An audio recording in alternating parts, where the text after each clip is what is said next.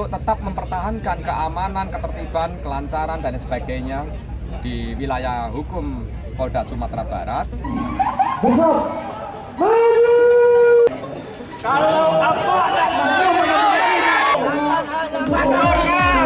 kami tak setuju. Lebih rancak ibu bulan ibu. Tamui kami. Kerana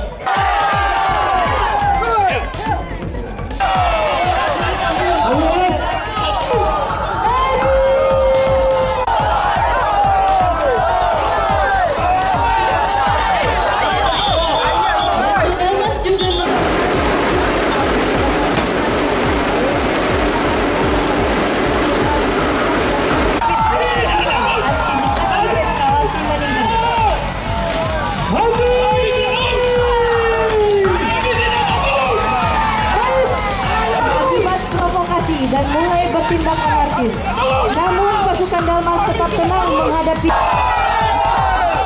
untuk tetap mempertahankan keamanan, ketertiban, kelancaran dan sebagainya di wilayah hukum Polda Sumatera Barat.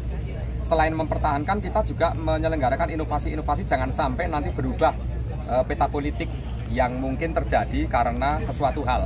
Contohnya, nanti bagaimana di saat sudah penetapan calon wakil presiden. Nanti pasti peta politiknya bisa jadi berubah. Juga sudah melaksanakan latihan-latihan.